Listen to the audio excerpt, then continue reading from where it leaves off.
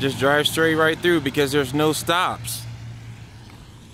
See this other car. See this van.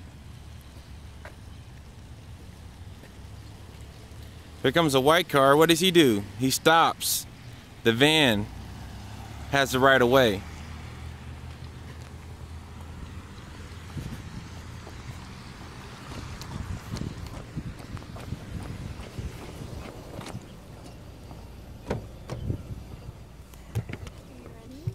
Yep.